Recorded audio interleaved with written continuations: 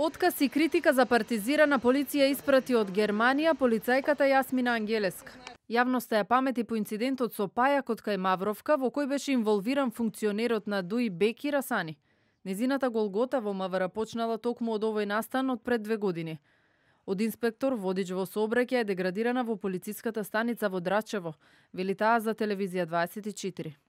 Си заминав во Германија пред неколку недели. Тој настан мене ми донесе многу неправда. После една година јас наградно добив решение во полициска станица Драчево. Не беше само овој мокник во државата. Јас против неколку звучни презимиња имав преземени мерки. Најмногу од се ми пречеше хаосот и партиските вработувања и тоа кој се може да стане надреден во МВР. Од МВР не одговорија на нашите прашања поврзани со причините за отказот на Ангелеска. Независниот полициски синдикат е информиран, но велат ова не е единствен случај. Па имаше и а, останати предлози од нејзина страна, односно достави на а, пишани материјали и со матретирање на незиното работно место.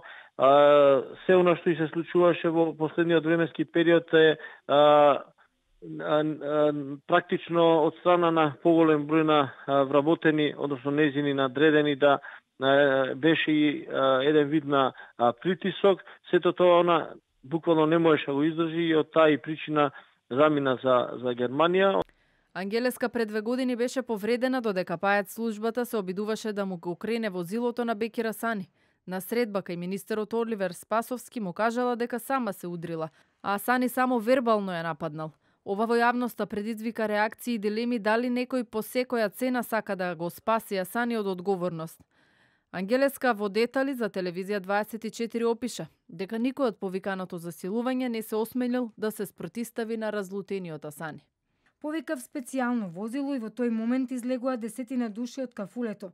Еден од нив кој подоцна го разбрав кој е бил и Беки кој се пружи по мојата радиоврска на која повикав засилување. Кога 30 на колеги пристигнаа, никој не презема ништо или да го приведе иако беше вулгарен и ме понижуваше. Сватив дека сум сама и нема правда. Од нервоза удрив со бокс во вратата, напајак возилото и си влегов во службениот автомобил.